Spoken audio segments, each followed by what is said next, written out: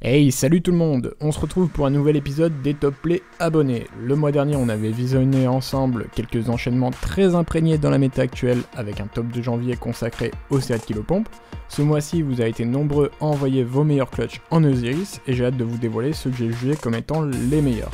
Sachez que pour la prochaine édition, on passera cette fois-ci aux fusions. Alors envoyez vos clips et vos meilleurs enchaînements réalisés à l'aide de ce merveilleux outil de mort qu'est le fusion. Comme d'habitude, les instructions pour l'envoi de vos clips sont à l'écran et dans la description, alors sans plus tarder, démarrons ce top des clutches en Osiris.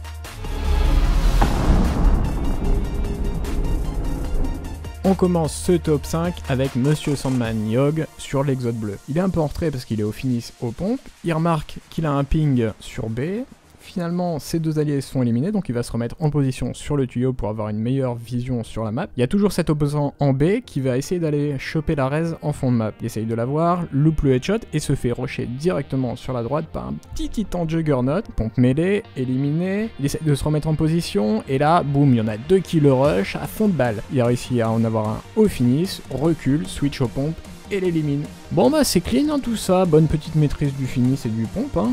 Allez, En quatrième position, Adri38 toujours sur l'exode bleu. Il commence par un petit dry scope à courte portée, switch à la T comme universel, loupe son premier tir, enchaîne sur le deuxième, se fait tirer dessus par derrière. C'est pas grave, petit no scope, c'est fini Bah non Il y a une raid en plus Alors il prend un peu cette distance parce qu'il est plus rouge que Renault à la sortie d'un bar et là, bim Il finit à l'assaillant, tranquillement. Alors, ce clip, il m'a quand même bien fait marrer, parce que le petit noscope, on se demande si c'est fait exprès, tu vois. La logique aurait voulu que la télécommande universelle à contrôle de foule soit le choix le plus logique, mais non, il nous a sorti un petit noscope, tranquillement. Et en plus, il est vraiment, mais genre, absolute pendant toute la durée du clip. Donc c'est assez marrant. Bien joué, euh, En troisième position, on retrouve Titanmat 03 sur la cour de la veuve. Un premier snipe sur une raise, un deuxième sur un chasseur en plein milieu de sa flèche, il cherche le troisième à l'entrée de l'église, bim et là, calme, sérénité, il recharge et enchaîne sur la raise. Faut quand même remarquer que c'est à 4-4 dans un match de Zeris, on pense pas toujours à cette petite raise qui peut arriver. Il a le calme, le sang-froid de le faire, c'est bien joué, c'est clean, c'est propre, 4 tirs, 4 headshots. Titan c'est monsieur propre.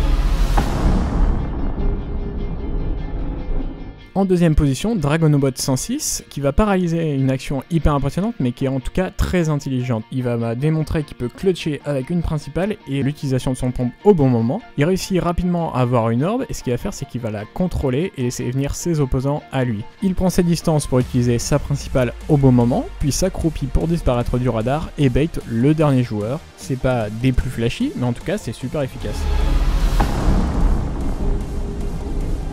En première position, Footix 93 540. Bon, Footix, maintenant on sait où tu habites. Hein. Son clip, c'est le clip le plus impressionnant qui mélange à la fois talent et chance. Ça commence par un snipe qui est manqué à cause du finish, on a tous connu ça, dès qu'on s'est tiré dessus, ça devient compliqué. Il prend le temps d'essayer de regen, et là ça tourne très vite au vinaigre, ses coéquipiers tombent très rapidement, et il se retrouve très vite entouré, sur la droite ça vient, la porte s'ouvre, boum, petit quizscope, il saute au-dessus de la table, il se retourne, et là, un petit dry scope, et la double, la petite collade qui passe très très bien. Le temps de réaction de Footix sur ce clip est franchement hyper intéressant. Il y a un scope, il balance le petit quizscope, il saute au-dessus de la table, met un petit 180 et nous sort la petite collade en dry scope. Voilà, le clip il est, il est top, hein, il est super impressionnant. Petit 3 down de chaque qui nous crie dessus. en tout cas, vraiment, très beau clip, très beau clip.